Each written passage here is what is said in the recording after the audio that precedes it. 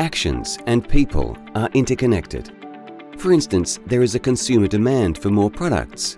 Retailers decide to meet this demand, which increases the demand for resources. Resources are necessary to meet a consumer's needs. But if we take too many resources, our environment will struggle to provide them in the future. Entity models aim to navigate what entities can do. An entity can be anything from a small, single-celled organism to the entire cosmos.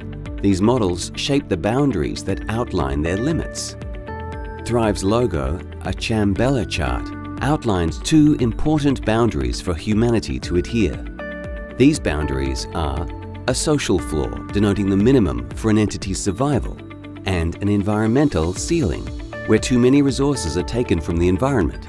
This environmental ceiling is where the environment can no longer recover from the damage, which can deprive entities of what they need to survive. Even removing a single tree, while it might have little impact on the environment as a whole, can devastate the creatures that depend on it for survival. The greater our actions, the more entities we impact.